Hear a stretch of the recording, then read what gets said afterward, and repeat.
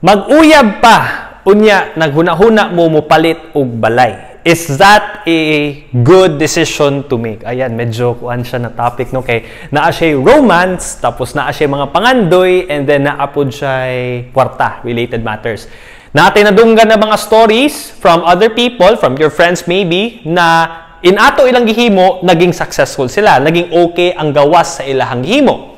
Naapod siguro uban na vice versa. Nagkaproblema hinuon sila. Because nag-away, then eventually nagbulag sila, nagkaproblema sila kung kinsa may mubayad, unya kung dili po nila ipadayon ang bayad, sayang pod. No? Pag abot sa papeles, kikinsa mo siya mapadulong, and things like that. So, kaning video, uh, ako i-share lang po sa inyo ha, among insights about it. Kani when you are buying a house, or when you're buying something of a property, at the end of the day, na-adjud kay ginatawag nitong commitment. I would say, i-divide natin siya into two things. The first type of commitment when you are trying to buy a house is what we call financial commitment.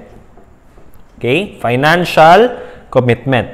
But pasabot, remember na pag once nagpalit na ka og balay and ginahinay, ginahulug-hulugan mo siya for the next 2 years, 5 years, or even 15 years, mag-uyab pa mo, that is a long-term financial commitment every single month na ay ginabawas sa inyong sweldo para lang mainyo ang balay.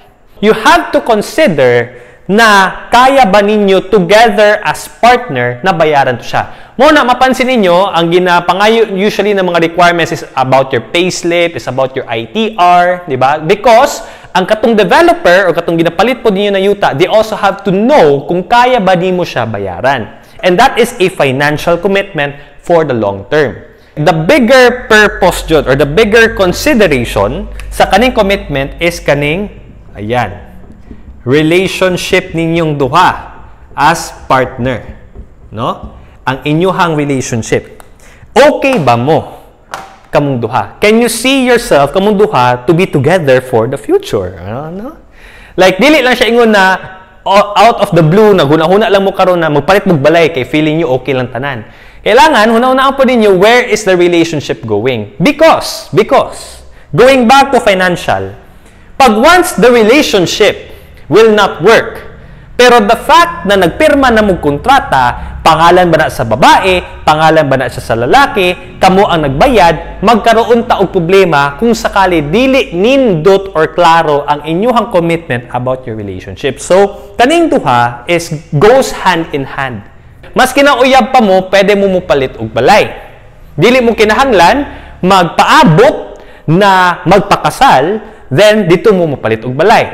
Though for some people, mao na ilahang preference at least mas sure-sure. Kay minyo na sila, na sila yung marriage contract, so regardless of what happens, conjugal property ang gawas. Makes sense. Napay uban, bigger risk Uyab pa sila, dito sila mo palit, kay gusto nila, paghuman nila o kasal, naa sila lugar na kapuyan. That is a commitment nila sa ilahang relationship. But regardless, if it's if your relationship is going to work out or not, there is a financial risk at stake. Question of the day.